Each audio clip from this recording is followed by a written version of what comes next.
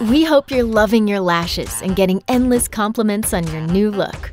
For the most glamorous, longest lasting results, follow these simple guidelines to care for your lashes. Avoid water near your lashes and steer clear of humidity and sweat for the first 24 hours. Avoid exposure to flashes of heat from an oven, stovetop, or grill. Do not use oil based products of any kind on or near your eyes. Try to keep your hands off your lashes and sleep on your side or back if you can. Be sure to wash your lashes with our eyelash foaming cleanser in the morning and evening. Do not use any oil based or waterproof cosmetics as they interfere with the adhesive. For extra freshness, brush your lashes daily with your retractable lash styling wand and follow up with protective lash coating every other day.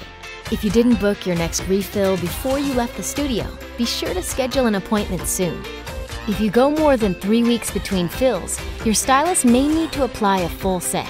So keep your lashes looking amazing by getting them filled every two to three weeks. If you have any questions at all about your new lashes or how to care for them, give us a call at the studio at any time. Until next time, Lashionista.